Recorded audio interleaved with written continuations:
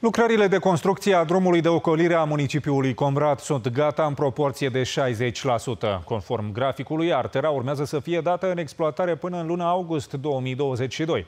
De acolo vor putea circula și mașinile de mare tonaj care în prezent traversează orașul Comrat. Lungimea totală a drumului de ocolire este de 18,4 km, iar costul proiectului se ridică la 29 de milioane de euro, bani alocați de către Banca Europeană de Investiții.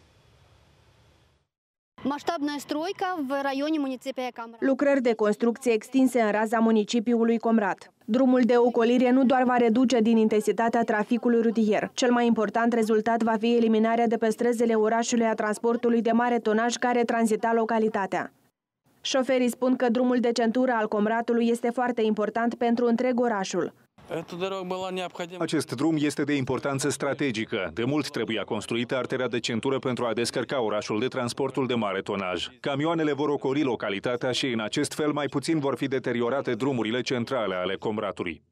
Șoseaua națională va forma centura Comratului pe o lungime de peste 18 km. Artera va avea două benzi cu peste 500 de indicatoare rutiere și un sistem de evacuare a apelor pluviale.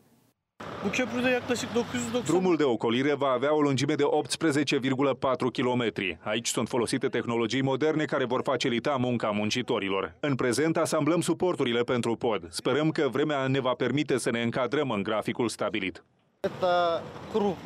Este un proiect foarte amplu. Costul total al lucrărilor se ridică la 29 de milioane de euro, iar termenul de dare în exploatare era inițial luna februarie 2022. Dar din cauza pandemiei și a ploilor, construcția acestuia se va încheia în luna august 2022. Pentru noi este foarte important ca acest drum să fie de calitate înaltă. Construcția centurii noi o asociem cu industrializarea regiunii. Acest proiect este mai mult decât construcția drumului de ocolire a Comratului. Este un proiect de dezvoltare a infrastructurii regiunii și țării în ansamblu. Până în prezent au fost efectuate 60% din volumul lucrărilor. Construcția șoselii de ocolire a municipiului Comrat este finanțată de către Banca Europeană de Investiții.